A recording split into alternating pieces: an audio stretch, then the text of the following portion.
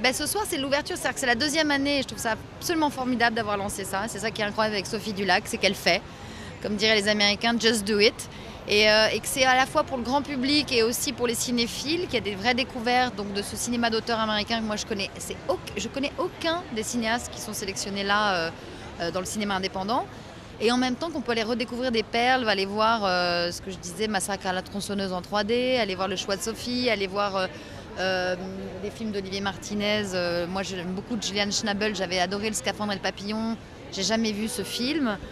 des rencontres aussi, des débats avec Lapiche sur, le, voilà, sur ce métier. Et c'est vraiment pour tout le monde. Il y a pour les enfants populaires et en même temps cinéphiles. Il y a des films de Cannes. Et cette passerelle avec les États-Unis, avec euh, le cinéma américain, c'est vraiment bien. Je trouve que c'est bien de le faire là, sur les Champs-Élysées. C'est lever de la victoire.